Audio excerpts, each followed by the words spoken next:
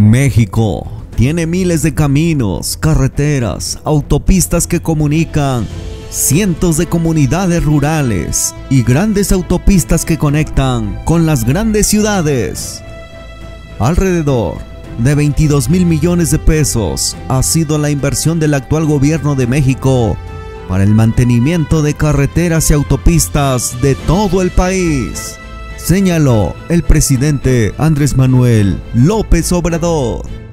Lo anterior en el marco del Día del Caminero, donde destacó el trabajo que ha hecho en materia de infraestructura vial, como son los caminos del estado de Oaxaca y Guerrero, los cuales han sido construidos por mano de obra local.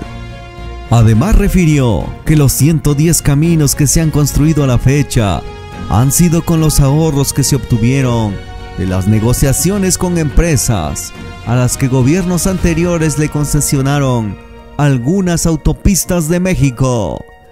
Estamos destinando alrededor de 12 mil millones de pesos en mantenimiento de carreteras libres desde que llegamos, más alrededor de 10 mil millones de pesos también de mantenimiento de autopistas, fue lo que comentó el presidente. Finalmente enfatizó que al final de su gobierno, los 570 municipios de Oaxaca contarán con caminos pavimentados que conectan a las respectivas cabeceras municipales. Es importante mencionar que hasta el momento, el gobierno que representa el presidente Andrés Manuel López Obrador ha terminado cuatro autopistas que estaban en el abandono desde el año 2011 periodo donde gobernó Felipe Calderón. Hoy, estas obras entran en servicio a beneficio del pueblo de México.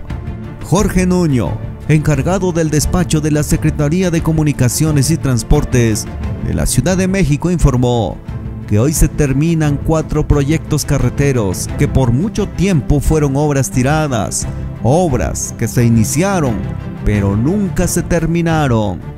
Pero eso sí, el presupuesto que contemplaban las obras se lo acabaron.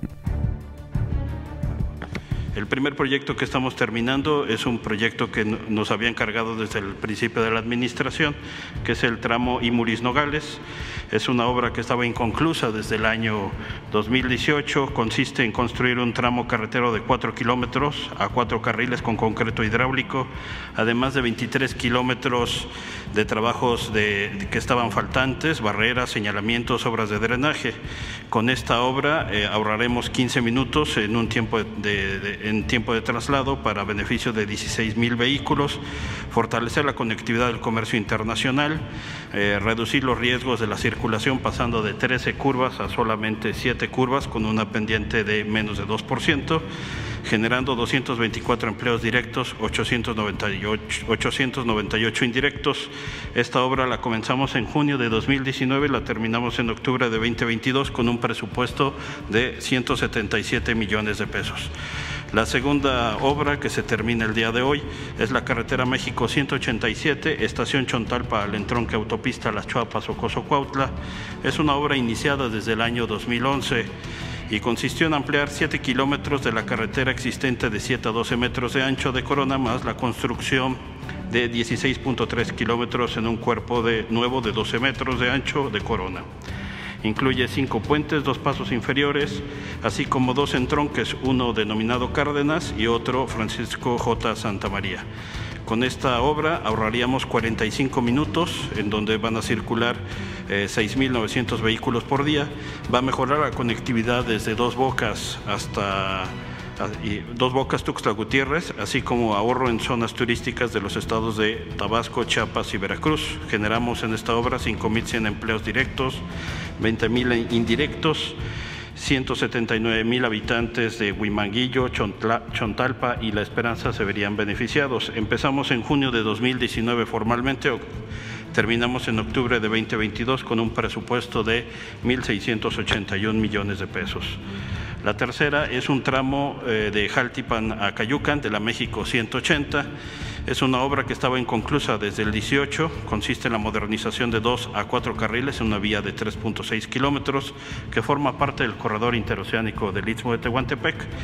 Ahorraríamos 20 minutos desde Cozolacaque a Cayucan, fortaleceremos la conexión de los municipios de Cozolacaque, Jaltipan, Oluta, Oluta y Acayucan, beneficiando a 365.500 habitantes. Eh, vamos a mejorar la interconexión de las carreteras federales 180, 185, 145 y, y, la autopista 145 directa. Con ella generamos 300 empleos y 900 indirectos. Empezamos en mayo de 2022, terminamos en octubre de 2022 con un costo total de 250 millones de pesos.